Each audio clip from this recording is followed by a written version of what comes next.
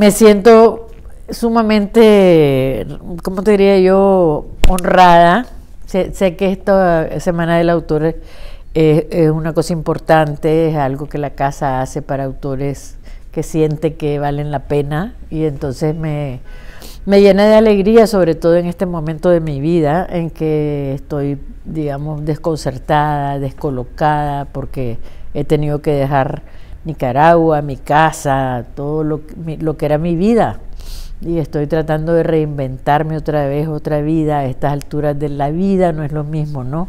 Mira, yo siento que lo que ha tenido mi obra es eh, una capacidad grande de comunicarse con la gente, de, emocionar a, mis lectores y lectoras, porque lo que creo que ha tenido es una conciencia social, en cierta forma, y sobre todo una conciencia social no a partir de un discurso, sino a partir de la propia vida. ¿no? Eh, después cuando he escrito bastante sobre las mujeres y sobre su vida, su, la vida privada, eh, hay una, una cierta eh, menosprecio de parte de la crítica masculina. ¿no?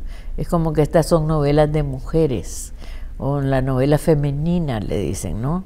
Eso me ha parecido terrible, eh, porque realmente la novela, ¿qué quiere decir una novela femenina? ¿no?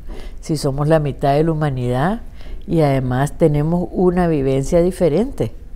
Este exilio también lo veo como, una, como un trabajo para Nicaragua. Yo creo que nosotros, los que hemos sido privilegiados con podernos ir sin que nos apresaran, eh, los que hemos tenido la posibilidad de, tener foros donde nuestra voz se escucha, tenemos un gran trabajo que hacer. Ahora, hablar de los presos políticos, por ejemplo, para mí ese es el problema más ardiente, más, más quemante que hay en Nicaragua en este momento, porque la dictadura de Ortega se, se va a mantener por un buen rato, yo creo, porque está montada sobre un organismo represor, sobre el ejército, la policía, eh, y les están dando un tratamiento de no darles de comer, de, o sea, les dan muy poco, han perdido enormes cantidades de peso, todo no lo sacan al, aire.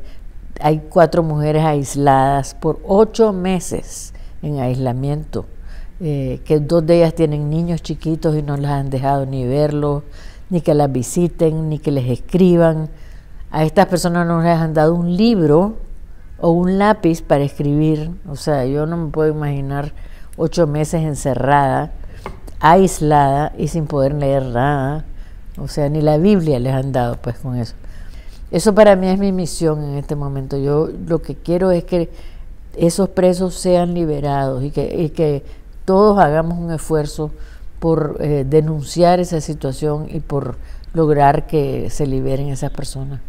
Mira, el presidente me invitó, o sea, yo de repente recibo una carta de Boric eh, invitándome a la toma de posesión y en primer lugar pensé, increíble que eh, nos esté invitando a Sergio Ramírez y a mí, como y se está desmarcando del apoyo a Daniel Ortega. Esto es muy importante para nosotros, para Nicaragua.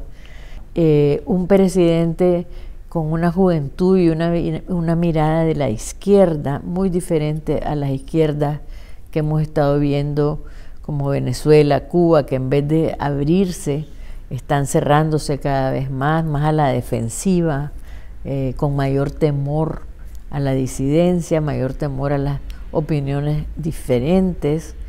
Entonces eso me ha encantado, me ha dado mucha esperanza